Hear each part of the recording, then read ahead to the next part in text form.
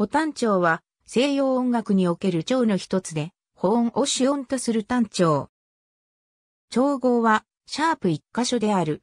赤マスは一般に臨時記号により表される。和音は火星的単音階で考えたもの。セブンの和音は V7 の、セブン7の和音は V9 の根音を省略した形とみなされることがある。その他のコードネームも実際の楽譜では異名同音的に変えられることがある。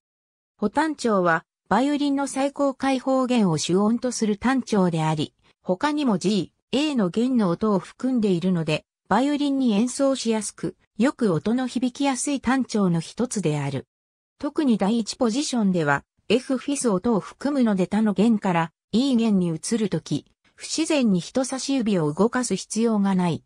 シャルパンティエはこの調について、生めかしさや悲しさを表すと述べている。